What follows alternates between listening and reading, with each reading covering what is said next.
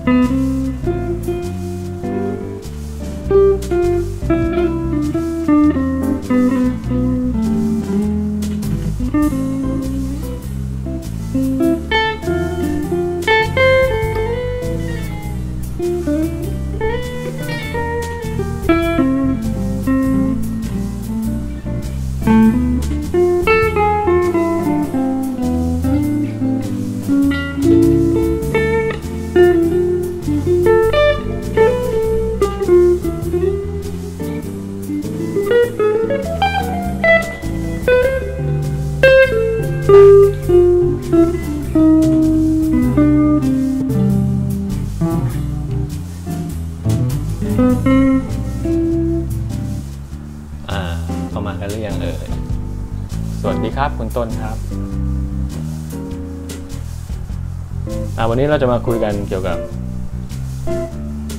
แนวทางการอินพรไวนะครับในเพลง Fly Me to the Moon นะครับ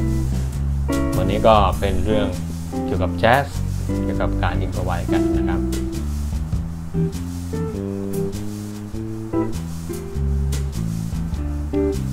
ผมก็จะอัดวิดีโอไว้นะครับ เพื่อผู้ที่สนใจนะครับ ผ่านเข้ามาก็จะได้ศึกษากันเพิ่มเติมได้นะครับ ไปที่หัวข้อแรกกันก่อนเลยแล้วกันเนาะผมลดเสียงไปที่แพ็กลงนิดนึงนะครับตัวนี้เสียงไม่ค่อยมี พอดี นอนดึกมาหลายวันแล้ว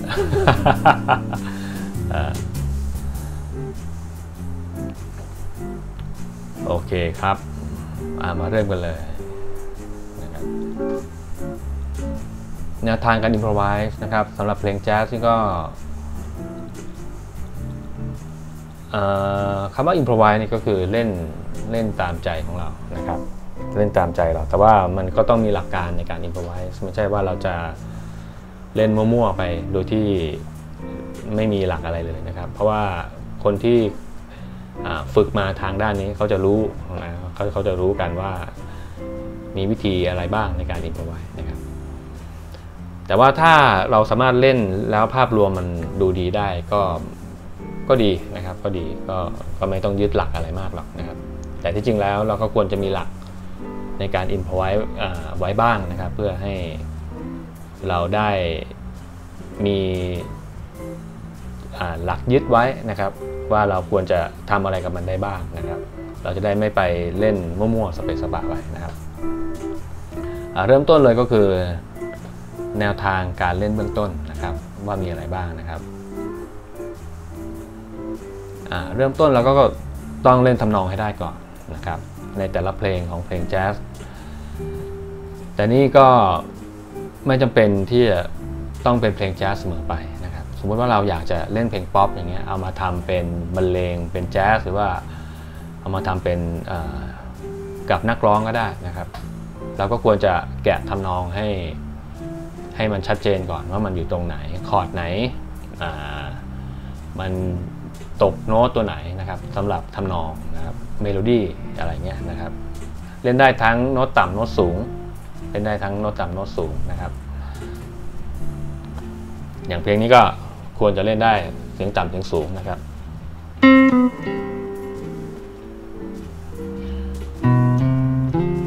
อันนี้ก็เป็นเสียงต่ำ อะไรเงี้ยนะครับ แล้วก็มาฝึกเสียงสูงนะ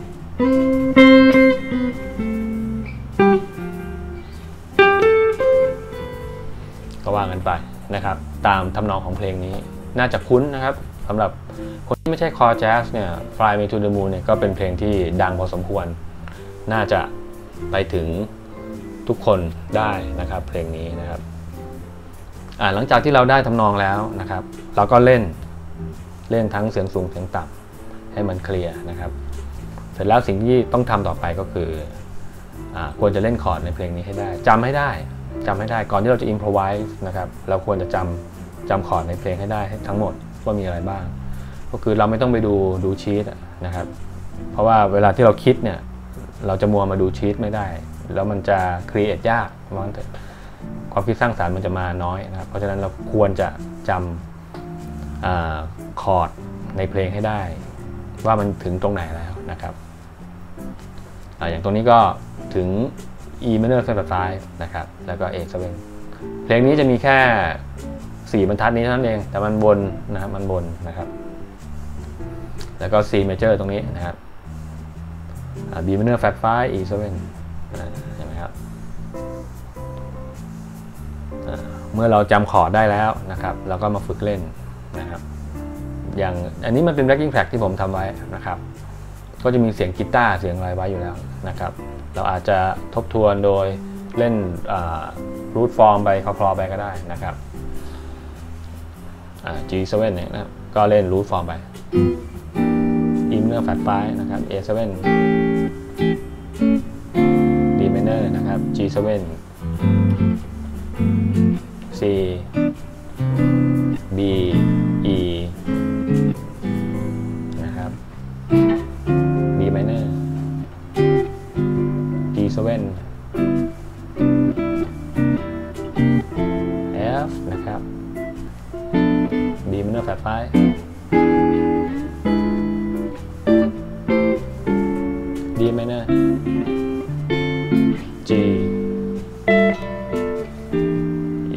minor flat 5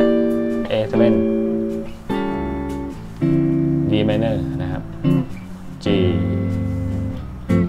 C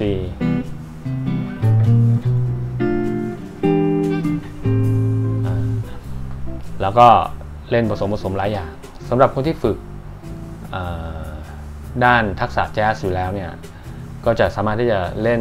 คอร์ดที่ซับซ้อนได้นะครับ เช่นที่ผมเล่นไปเมื่อกี้อาจจะมีพวก เขาเรียก drop form drop form ก็คือคอร์ดที่สลับโน้ตในในคอร์ดนะครับ ก็คือคอร์ดคอร์ดหนึ่งเนี่ยมันจะประกอบไปด้วยโน้ตออย่างน้อย3 4ตัวเนี่ยนะครับ ก็เอามาสลับกันนะครับสลับกันบางทีเขาก็เรียก inversion นะครับ แต่ inversion ก็จะเป็นหลักการอีกแบบหนึ่ง ทีนี้ drop ก็จะเป็นหลักการอีกแบบหนึ่งนะครับ ลองไปศึกษาเพิ่มเติมดูนะครับ drop form แล้วก็ inversion นะครับ ก็จะทำให้ การเล่นมันซับซ้อนมากขึ้นนะครับอันนี้เรื่องคอร์ดเรียบร้อย อันนี้ก็เป็นแนวทางการเล่นเบื้องต้นนะครับทีนี้มาถึงเรื่อง improvise บ้างนะครับ ถ้าอยากจะ improvise ในเพลงนี้ พอดีว่าเพลงนี้มันง่ายนิดนึง ตรงที่ทั้งเพลงเนี่ยมันเล่นเป็น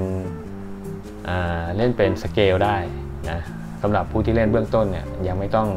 อลงลึกเข้าไปถึงการฝึก arpeggio นะครับ ก็สามารถที่จะเล่นสเกลได้เลยเพลงนี้นะครับ ก็คือเล่นด้วย C major นะ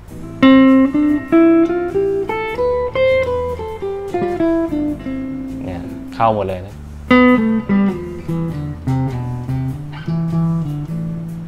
แล้วแต่ว่าเราจะ create โน้ตไปยังไง แล้วอาจจะฮัมไปด้วยก็ได้ เช่น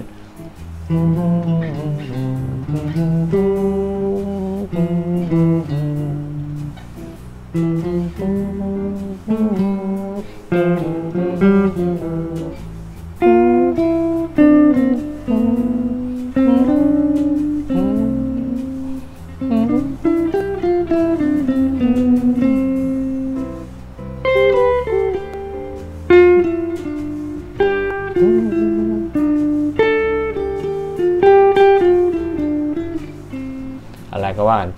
ที่อยู่ใน C major scale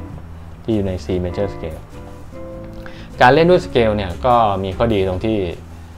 มันสร้างทำนองง่ายนะครับมันสร้างทำนองง่าย แล้วก็ฮัมไปด้วยได้อะไรเงี้ยนะครับในสเกลที่เราคุ้นเคยนะครับแล้วก็เล่นไปด้วยสบายๆไปนะครับโอเค อันนี้เป็นแนวทางการเล่นเบื้องต้นในข้อที่1นงนะครับ วันนี้ผมจะแนะนำสัก 3 หัวข้อแล้วกันนะครับอ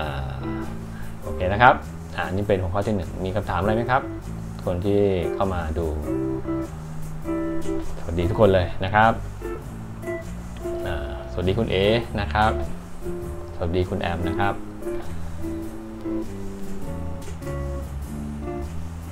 โอเค อยากถามอะไรถามมาเลยนะครับ เดี๋ยวไปข้อ 2 เลยดีกว่าอ่า การเล่นให้เป็นแจ๊สเบื้องต้นนะครับ การเล่นให้มันเป็นสาวแจ๊สเบื้องต้นทำอย่างไร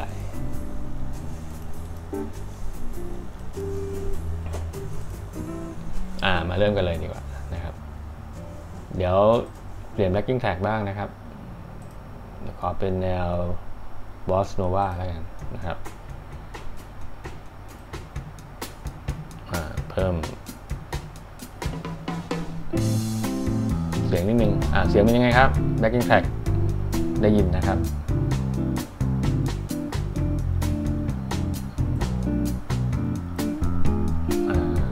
อันนี้ก็จะเร็วนิดนึงนะเทมโปน่าจะสักน่าจะสักประมาณ 100 ประมาณนั้น ไม่แน่ใจนะหรือร้อยอัพนะนิดนึงนะครับถ้าเราเล่นเป็นอ่า F note ก็จะสมมติ C major scale นะครับ ก็จะเล่นเป็น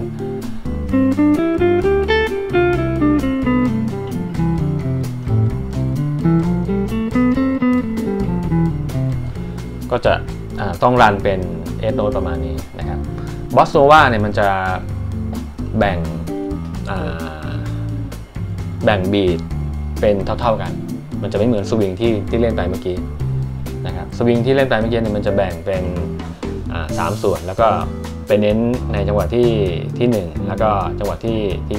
3นะครับที่เป็นบีดบีดยกนะครับของของแต่ละจังหวะนะครับแต่นี่มันจะเป็น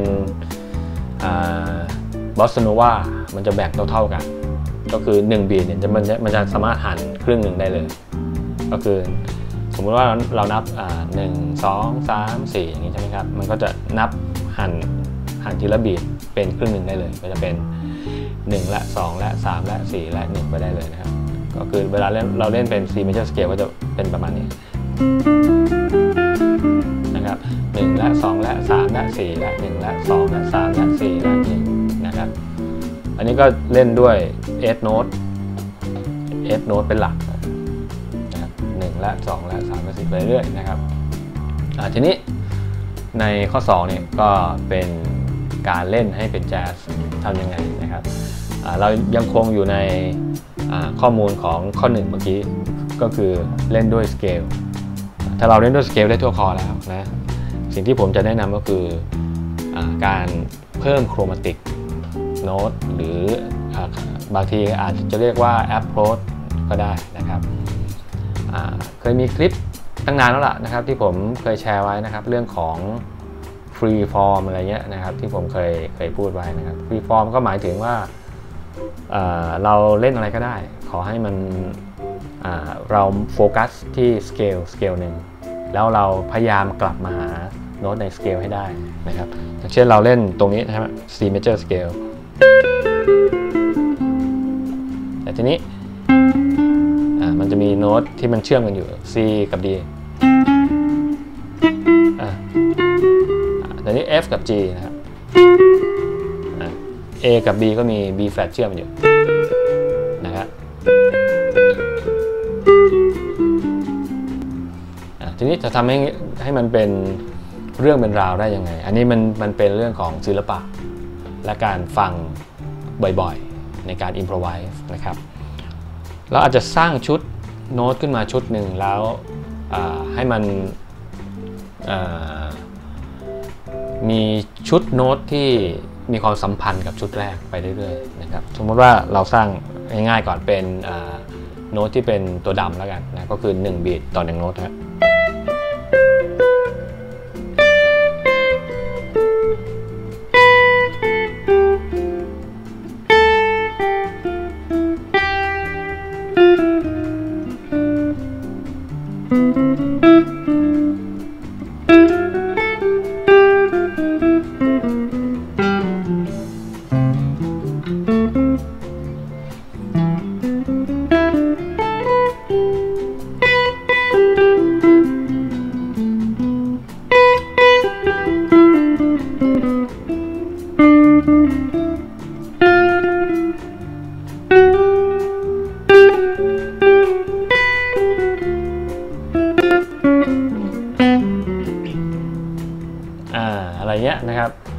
จาก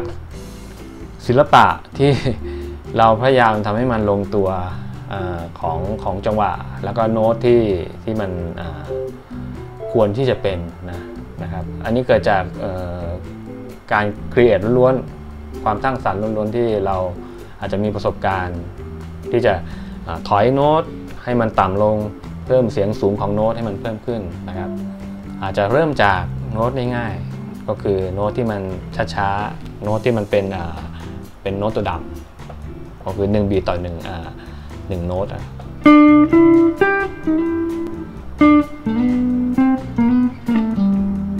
แต่ถ้าเราเล่นอย่างเงี้ย chromatic มันจะเล่นยาก เพราะว่า chromatic มันควรจะเล่นเป็น eighth note นะ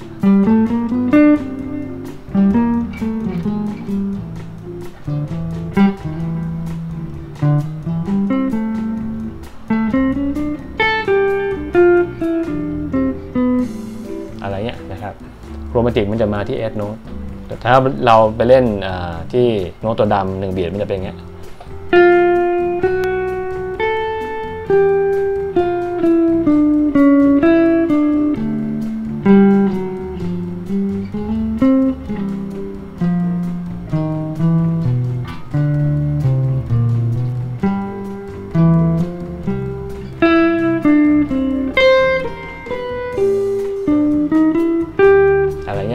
อาจจะ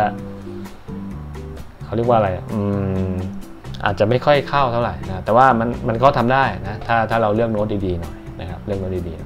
ๆก็พอฟังได้นะโอเคอะตอนนี้มีคำถามแล้วไหมครับ นี่ก็อยู่ที่ข้อที่ 2 แล้วนะครับสวัสดีคุณไพรัตนะครับโอเคอ่าทีนี้ ข้อที่2นี่ก็ผมก็แนะนำเป็นเรื่องของโครมาติกนะโครมาติกเล่นเล่นเพิ่มเข้าไปในสเกลที่ผมได้แนะนำไปในข้อที่ 1 เรียบร้อยแล้วนะครับทีนี้ถ้าเป็นออีกข้อหนึ่งนะครับ มาที่ข้อสุดท้ายกันเลยดีกว่า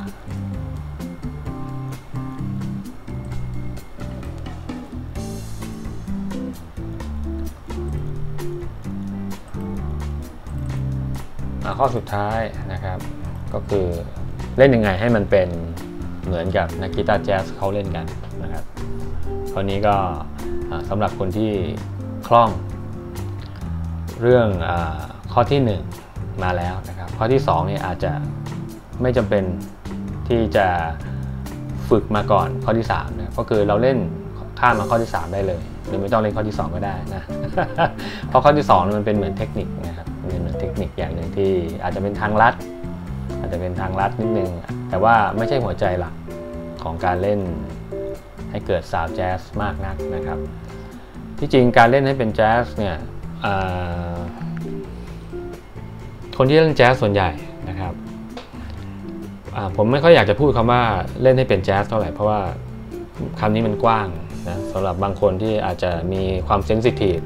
ในการให้ความหมายของคำว่าแจ๊สเนี่ยอาจจะไป ทำให้ไม่ค่อยสบายใจได้ ผมก็พูดแบบกว้างๆแล้วกันนะครับ เล่นยังไงให้มันเหมือนกับคนที่เล่นแจ๊สเป็นเอาง่ายๆนะครับ มีหลักการอยู่ประมาณนี้ผมแนะนำนะครับคืออันดับแรกเนี่ยควรจะเล่นด้วย arpeggio เป็นหลักนะครับถ้าเราเล่นด้วย arpeggio คล่องแล้วเนี่ยเดี๋ยวเราค่อยไปต่อยอดอย่างอื่นนะถ้าเราเล่นด้วย arpeggio เนี่ยซาวจะเป็นอย่างนี้นะครับมันจะไม่เหมือนกับเล่นสเกลละ จะยกตัวอย่างเล่นอินพไวไปเลยนะครับกลับมาย้อนนิดนึง เดี๋ยว backing track มันหมดนะครับ D minor ละ G7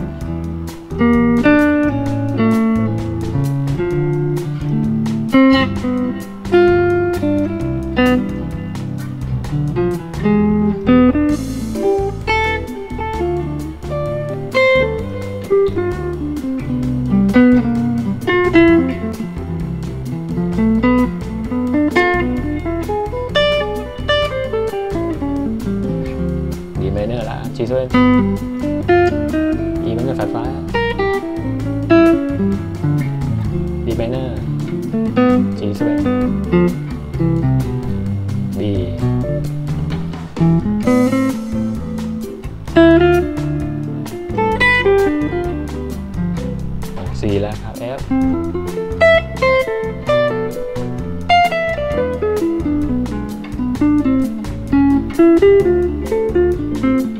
G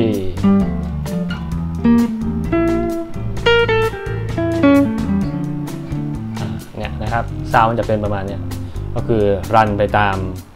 คอร์ดของมัน arpeggio ก็คือเสียงของโน้ตที่ประกอบกันในแต่ละคอร์ด อย่าง A minor เนี่ยก็ประกอบไปด้วย A C E G เนี่ยนะครับ เราต้องเล่นในช่วงที่มันเป็นคอร์ด A minor อย่าง D minor นี่ก็เล่นด้วย arpeggio ของ D minor แล้ว D F A C นะครับนี้ทำยังไงให้มันผสมผสานกันได้ทั่วคอ มันก็มีวิธีฝึกของมันอยู่นะครับ ในเรื่องของการฝึกให้เป็นแจ๊สกีตาริสนะครับ อ่า นี่เป็นเรื่องแนะนำเรื่องแรก ฝึก arpeggio เรียบร้อยอทีนี้ทำยังไงต่อให้มันดีกว่านี้นะครับทำไงให้มันดีกว่านี้ เรื่องต่อไปที่จะแนะนำนะครับ เรื่องต่อไปที่จะแนะนำก็คือ การเล่นด้วยโหมดนะครับการเล่นด้วยโหมดโหมด improvise ผมได้ยกตัวอย่าง ไปในไลฟ์ที่แล้วแล้วมาแล้วนะครับเดี๋ยวลองกลับย้อนไปดูเรื่องของแนวทางการฝึกโหมดนะครับ ก็อาจจะเป็นประโยชน์นะครับ เดี๋ยววันนี้ผมพูดอีกทีนะครับสั้นๆแล้วกันนะครับ การฝึกโหมดเนี่ยก็ในเพลงเนี่ยเราจะเห็นว่า 1 คอร์ดนะครับ เราจะเล่นได้อย่างน้อย 1 โหมด1โหมด1คอร์ดต่อ1โหมดนะครับ แต่ว่าเราต้องวิเคราะห์คอร์ดให้ให้เป็นก่อนนะครับ สมมติว่าเพลงนั้นไม่ใช่เพลงดังมาก มันจะไม่มีข้อมูลให้เราได้วิเคราะห์ แต่เพลงนี้เราอาจจะหาในอินเทอร์เน็ตได้นะนะครับว่าในแต่ละห้องเนี่ยมันมันควรจะโซโล่ด้วยโหมดอะไรนะครับ ก็หาได้ แต่ถ้าเป็นเพลงที่เราอยากจะเล่นเอง เช่นเพลงไทยที่เป็นเพลงที่เราชอบ เราอยากจะมาทำเป็นแจ๊สหรืออยากเอามาอินพอไว้อย่างเงี้ยนะครับเราต้องวิเคราะห์เองแล้วนะครับหรืออาจจะเป็นเพลงแจ๊สบางเพลงที่ ไม่มีข้อมูลให้เราได้ได้ศึกษาเรื่องของโหมดมากนักนะครับ ก็น่าจะวิเคราะห์เองได้ อย่างเพลงนี้เนี่ยก็ขึ้นต้นด้วย A minor นะครับเพลงนี้บอกรวมๆคร่าวๆก่อนก็คือเป็นเพลงในคีย์ C เพลงในคีย์ C เพราะฉะนั้น A เนี่ยก็เล่นด้วย Aeolian นะครับ D ก็ Dorian G ก็ Mixolydian นะครับ C ก็ Ionian F ก็ Lydian นะครับ B minor flat 5ก็เป็น Locrian E7 ก็เป็น Phrygian dominant นะครับ แล้วก็มาที่ A minor อีกครั้งก็เป็น Aeolian เหมือนเดิมนะครับ ส่วนข้างล่างนะครับ D ก็ Dorian G ก็ Mixolydian นะครับ E minor flat 5ก็เล่นด้วย Locrian นะครับ A7 เนี่ยเล่นด้วย Aeolian dominant นะครับ D minor ก็ Dorian G ก็ Mixolydian C ก็ Ionian นะครับ แล้วก็มาคอร์ดตรงนี้เป็น 2 คอร์ดต่อ 1 ห้องก็เล่นเป็นล็อกเคลียนนะครับ B ล็อกเคลียนแล้วก็ E region dominant อันนี้ผมยกตัวอย่างคร่าวๆ ที่เป็นโหมดที่เล่นได้แน่นอนในคอร์ดในในในเพลงนี้นะครับอาจจะมีโหมดอื่นๆ ที่สามารถเล่นได้ด้วยนะครับ วิธีการฝึกโหมดมันค่อนข้างเยอะนะครับไปศึกษาเองแล้วกัน ตอนนี้ก็เอาเอาคร่าวๆเป็นตัวอย่างนะครับ ก็มีเล่มนี้นะครับแนะนำนะเล่มนี้ถ้าใครอยากศึกษานะครับ ก็ครบทุกโหมดเลยนะครับ ทั้งโหมดหลักโหมดเสริม อันนี้มันก็จะมีโหมดโหมดเสริมเข้ามา อย่าง A7 เนี่ยเอโอเลียนโดมิเนนต์เนี่ยมันมาจากไงนะ ก็จะมีบอกในเล่มนี้ทั้งหมดนะครับเดี๋ยวผมจะยกตัวอย่างเรื่อยๆแล้วกันนะครับสำหรับไลฟ์ของเรานะครับไปเรื่อยๆอาจจะยกตัวอย่างมาสำหรับบางคอร์ดนะครับ ซึ่งมันมีข้อมูลค่อนข้างเยอะนะครับ ถ้าจะพูดให้จบภายในครั้งเดียวคงเป็นไปไม่ได้แน่นอนนะครับวันนี้ก็เดี๋ยวจะลาจากกันด้วยการสาธิตการเล่นด้วยโหมดนะครับในในเพลง Fly Me to the Moon ที่เป็นจังหวะ bossa nova backing track นี้ผมก็ทำไว้นะครับตั้งแต่ปี 2017 นะครับ ก็ไปเล่นเล่นได้นะครับ ก็ search ว่า Fly Me to the Moon b o s s n o v a มันก็ขึ้นมาแล้วล่ะนะครับ tempo ประมาณ 110 ประมาณนี้นะครับ ก็เล่นในแนวทางที่ผมแนะนำไปนะครับลุยเลยแล้วกันนะครับ มาเลย F แล้วนะครับ 애만은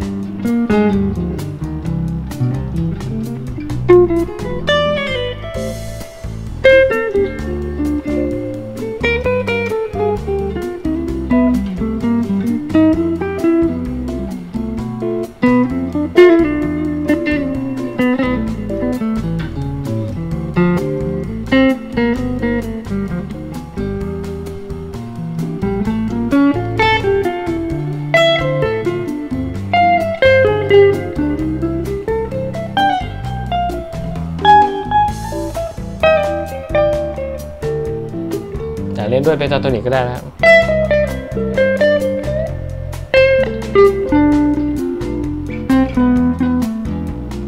ก็ผสมผสานกันไปเป็นจาโทนิกโหมดบลูสเกลอะไรก็ว่าไปนะครับ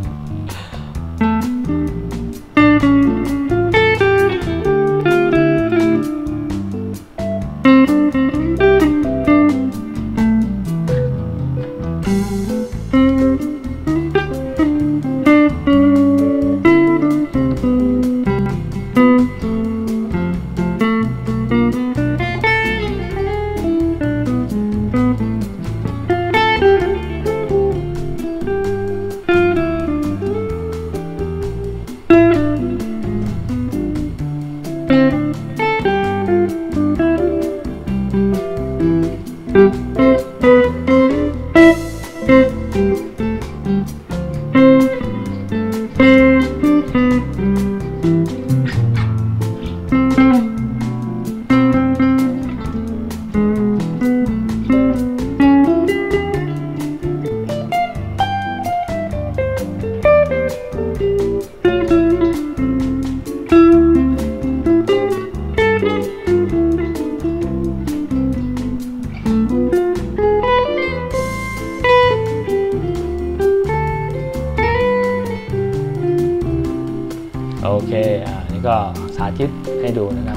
เล่นไปเพลินๆนะครับ เราสามารถที่จะมีสกิลอะไรก็ว่ากันไปนะครับ การอินพอไว้นี่ก็เหมือนกันเป็นการแสดงตัวตนของเราเหมือนกันนะครับ ว่าเราสามารถที่จะมีทักษะอะไรที่สามารถเล่นได้บ้าง อันนี้ก็คือภาษาของคนที่เล่นดนตรีกันในการสื่อสารกันนะครับ ก็ฝึกไปเรื่อยๆนะครับสำหรับการฝึกแจ๊สเนี่ยก็ไม่มีหมดนะนะครับ ไม่มีหมด ก็แนะนำให้คนที่กำลังฝึกตรงนี้นะครับ ขอให้มีกำลังใจในการฝึก สักวันหนึ่งเราก็จะสามารถที่จะเล่นได้ แล้วก็มีความสุขกับการเล่นนะครับ แม้ว่าการฝึกของเรานั้นจะมีความยากลำบากมากแค่ไหนนะครับ มันจะมีสักวันหนึ่งนะครับที่เราจะสามารถที่จะมีอิสระในการเล่นได้ประมาณนี้นะครับ แล้วก็ที่จริงผมก็ยังฝึกอีกเยอะนะครับ ยังมีอะไรให้ฝึกอีกเยอะนะครับ ก็จะพยายาม สร้างผลงานให้ทุกคนได้นำไปฝึกกันได้เรื่อยๆนะครับ พยายามพัฒนาตัวเองตลอดเหมือนกันนะครับ โอเค เดี๋ยวมาเจอกันที่ไลฟ์คราวหน้านะครับว่าจะเป็นอะไรนะครับ ติดตามที่หน้าเพจนะครับผม วันนี้ก็สวัสดีนะครับ สวัสดีครับ